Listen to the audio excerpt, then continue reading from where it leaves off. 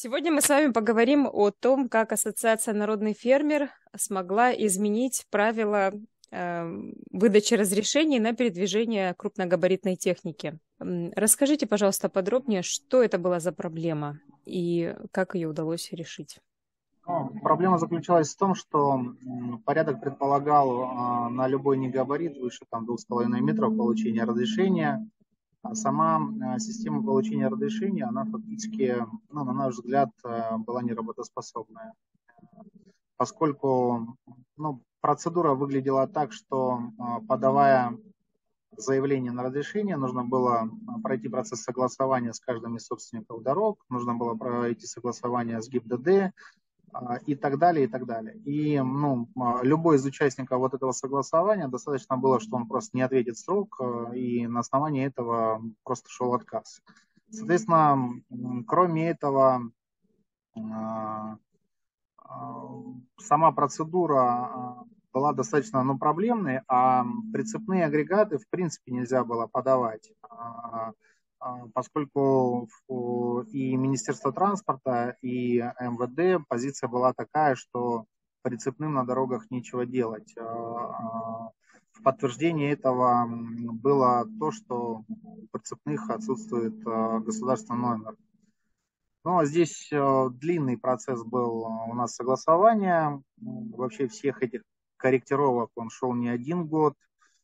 Когда-то мы начали это с конца 2019 года, с обращения к президенту. Ну и вот этот период э, много чего было. Какие же изменения сейчас получились? Э, изменения получились первое, это теперь э, узаконены с 1 марта 2024 года узаконены прицепные агрегаты, и именно через дублирование номера тягача. Это принципиальная позиция наша была, поскольку если делать э, процедуру регистрации всех прицепных агрегатов, но, во-первых, это и невозможно, а во-вторых, это, в этом нет смысла. А, поэтому, наконец-таки, мы достигли с э, Министерством транспорта э, компромисса, а, и теперь возможно использовать будет госномер тягача. Причем ну, данное изменение оно касается сейчас порядка получения разрешения на негабаритные транспортные средства. А, при этом а, габаритные, а, передвижение габаритных сейчас остается неурегулированным. Но есть договоренность с Департаментом государственной политики в области дорожного хозяйства Минтранса РФ о том, что таким же образом сейчас мы пройдем процедуру а, и по габаритным а, прицепным агрегатам. Э, нужно будет взять номер тягача, повесить его, грубо говоря, там на сеялку или на почвообрабатывающее оборудование, которое сзади едет. И все верно, да. тогда все будет все правильно. Угу. Все верно, да. Ну, кроме этого,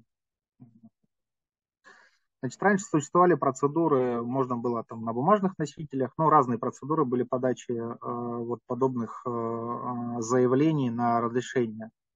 А, ну и куча случаев, когда там, не знаю, там несколько томов бумаг а, требовалось. Но я, конечно, сейчас утрирую, но тем не менее. А, сейчас ну, система будет построена совершенно по-другому. Есть кабинет переводчика, личный кабинет переводчика, там достаточно просто зарегистрироваться. Далее туда просто вносится информация о парке техники, о парке прицепных агрегатов. После этого в системе выбирается маршрут а, и указывается габариты. Вернее, сначала указывается габарит, потом выбирается маршрут. Система предлагает несколько вариантов, будет предлагать несколько вариантов данных маршрутов, а, причем будет отражать участки, на которых с данным габаритом можно двигаться, и участки, на которых для движения необходимо сделать проект организации движения, ну или разработать. Соответственно, ключевой здесь подход будет такой, что проект организации движения а, будет необходим в случаях, когда а, транспортное средство шире 5 метров. Либо а, для встречного движения остается ширина полосы менее 3 метров. Ну, приведу вам пример. И логика будет построена следующим образом. То есть, допустим, две полосы, одна по 3,75 метров, а, соответственно, в двух направлениях. Допустим, у нас комбайн 4 метра. Это означает, что в разрешении будет указана возможность того, что на 25 сантиметров будет заезд на встречную полосу движения. А, и разрешение будет ну, разрешать подобный образ. А пока нам а, также мы договорились о том, что процесс организации движения будет позволять заезжать на обочину в каких-то критических участках дороги. Но, к сожалению, пока не договорились о том, что в принципе сельхозтехнике можно будет двигаться по обочине. Но мы эту работу продолжим, и нам кажется, это изменения в правилах дорожного движения, они, ну, нужно их добиться. А, разрешение будет выдаваться на 6 месяцев, а, если движение будет э, э, происходить э, в границах не одного муниципалитета. А, соответственно, если в границах одного муниципалитета, то разрешение будет выдаваться на 9 месяцев. Причем, ну, очень важный момент, что разрешение будет выдаваться на габарит и на конкретный маршрут. И в рамках этого разрешения единицы техники можно будет менять как тягачи, так и прицепные. Это принципиальная договоренность, опять-таки, которую мы, ну, нам удалось э, достигнуть, убедить и, а, и в общем получить подтверждение от Министерства транспорта. Ну, коротко, коротко так. Вы могли бы подробнее рассказать э, про э, выдачу разрешений на габариты, а не на транспортное средство? Ключевой же процесс в рассмотрении, а, вернее, выдачи заявления, что конкретная дорога позволяет проехать такой-то ширине. Да? Ну, в нашем случае ширина ключевой ну, аспект.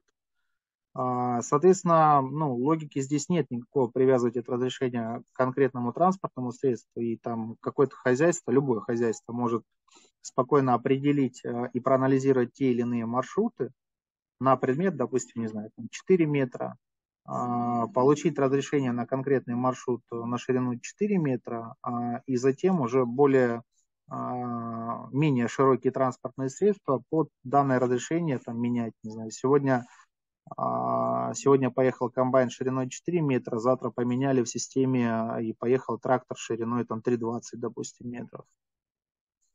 Поскольку уже на габарит 4 метра этот маршрут ну, дает возможность по нему двигаться.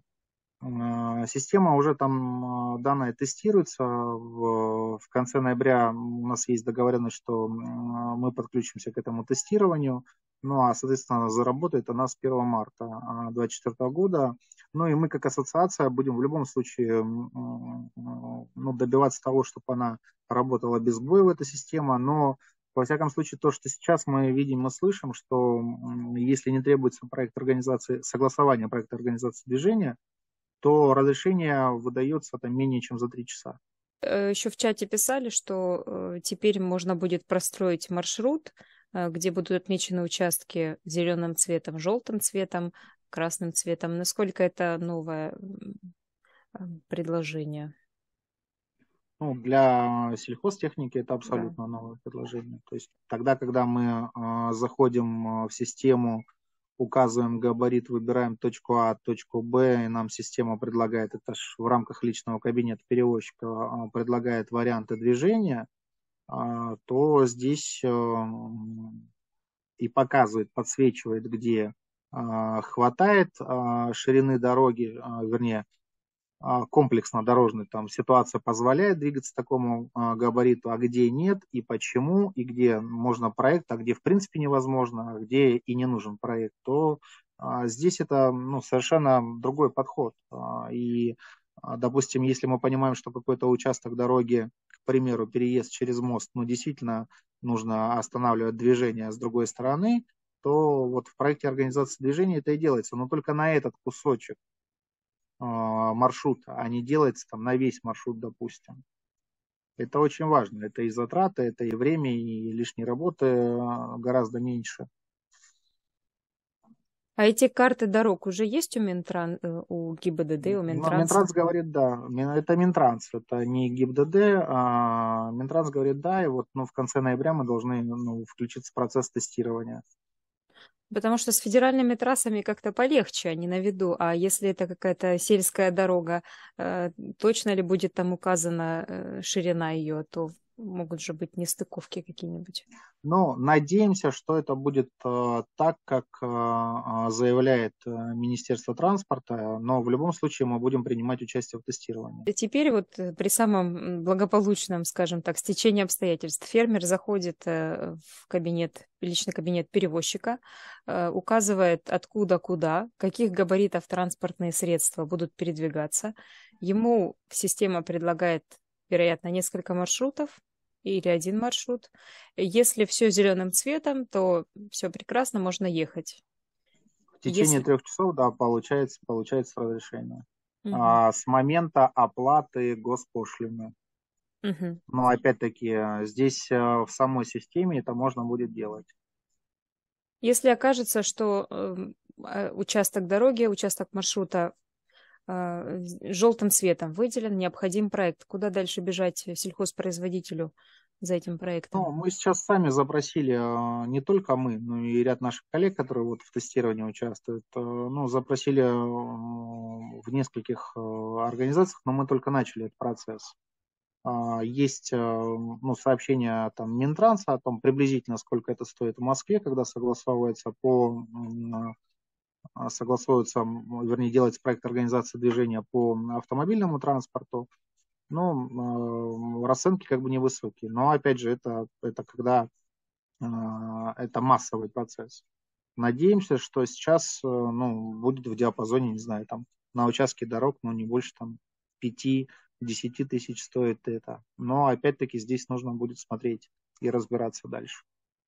Ну вот некоторые сельхозпроизводители вообще высказывали такую точку зрения, что э, зачем вообще эти разрешения нужны. Приводили даже статистику, сколько случается ДТП с легковыми автомобилями и сколько случается ДТП с сельхозтехникой. Это были, ну там, сущие единицы буквально. Эм. Ну, вы знаете, мы через э, через эти данные прошли, потому что с этого начинался наш диалог. А, первое, что нам, когда мы инициировали этот вопрос, и обсуждение было с а, Министерством транспорта, с МВД. А, первое, о чем говорили представители этих ведомств, вернее, этих министерств, именно о том, о безопасности движения.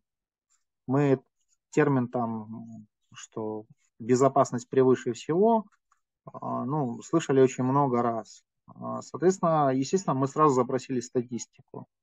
А, и дальше уже приводили ее, на основании э, ее выстраивали свою аргументацию. Ну, на память сейчас скажу, что там приблизительно там из 190 тысяч ДТП, 750 ДТП с участием, с участием сельскохозяйственной техники. При этом в 46% случаев виноваты не операторы а, сельскохозяйственной техники. А, статистики по, негабари... по аварийности негабаритной сельскохозяйственной техники не велось, ее нет в принципе.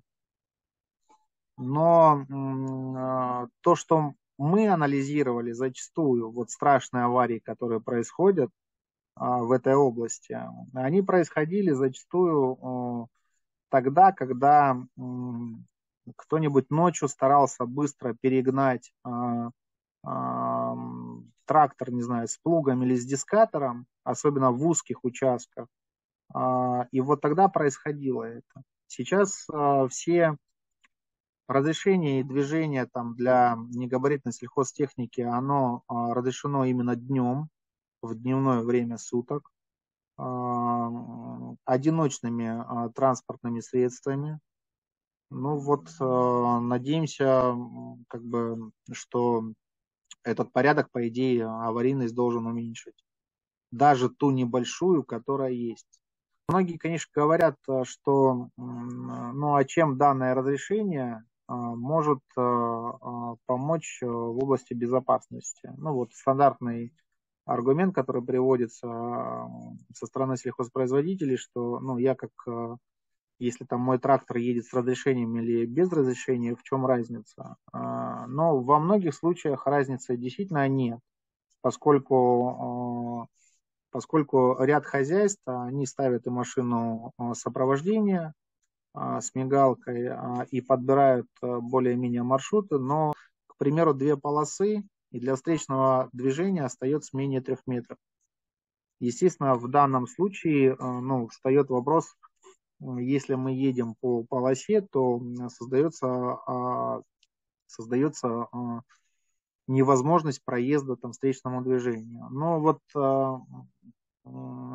здесь на многих дорогах этой проблемы нет, но участки есть. Соответственно, там Минтранс э, все время железобетонно стоит на том, что ну, именно а, для этого они и делают разрешительный характер. Новые правила потребуют, видимо, нового программного обеспечения. Оно есть или оно разрабатывается еще Минтрансом? Нет, я, ну вот в том-то и дело, что Минтранс уже разработал это программное обеспечение, и уже оно, угу. оно уже работает. Поэтому со словом Минтранса уже, уже эта система работоспособна и а, длительный период времени, ну, они называют два с половиной года, что у них ушло на разработку этой системы. А, и кроме того, что система разработана, это же потребовало большого количества изменений законодательных актов, поскольку ну, тематика, она не одним документом а, регулируется, и там действительно пласт просто огромный. Почему а, раньше, ну, это же, этот же вопрос периодически кто-то из а, политиков, кто-то из общественных деятелей периодически ну, брал, но когда подходили к тому, насколько сложно здесь регулирование, ну, в принципе, через некоторое время просто, видимо, ну, не хватало или энергии, или просто, а, просто понимали, что очень тяжело преодолеть эту стену. И это действительно так. А, законодательство, количество норм, различных законов, регулирующих эту область, оно большое. И то, что сейчас это все свелось к вот такой действующей системе, ну, я считаю, что это ну, такой прорыв, и вот это именно та цифровизация, получается, которая полезно не только для государства, но и для сельхозпроизводителей. Вот это вот как раз-таки процесс цифровизации управления там, дорожной ситуацией. Сколько времени у вас ушло на то, чтобы убедить органы власти принять предложение со стороны фермерского сообщества? Ну, здесь был очень длинный процесс. Не знаю, я там в Москву летал только раз 20, а вообще все начиналось э, в 2019 году мы обсуждали это с коллегами, а, сельхозпроизводителями, видели эту проблему. И вот э, наш президент э, в декабре 2019 а, года посещал Республику Адыгея. Это было перед Госсоветом по АПК. Соответственно, там я обращался с этим вопросом, и э, президент ну, поддержал наше предложение и дал поручение об упрощении этого порядка. Но механизм, а, конечно, там он достаточно сложный в этой области. Но кроме этого, а, у нас, не знаю, там а, в какой-то момент подключилась торгово-промышленная палата к этому процессу, и они здесь помогли нам сделать очень большой пласт такой аппаратной работы, которая заключалась в том, что ну, несколько томов переписок со всеми министерствами и ведомствами сейчас. А, ну и вот здесь получилась совместная работа и а, сельхозпроизводителей, и ассоциаций, и торгово-промышленной палаты, и мы смогли, смогли а, сдвинуть. Подобная работа, вы знаете, мы какое-то время назад у нас было общее представление о том, что для нас достаточно понимать технологию, повышать плодородие почвы, получать хороший урожай – но а, последние несколько лет мы уже а, четко понимаем, что этого недостаточно, и а, участие вот на поле законодательном, на поле регулирования, наше участие, оно обязательно. Поскольку если нас там нет, то это регулирование делается в пользу, ну, в пользу, не всегда в нашу пользу.